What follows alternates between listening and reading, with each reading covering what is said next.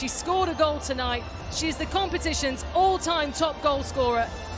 And she gets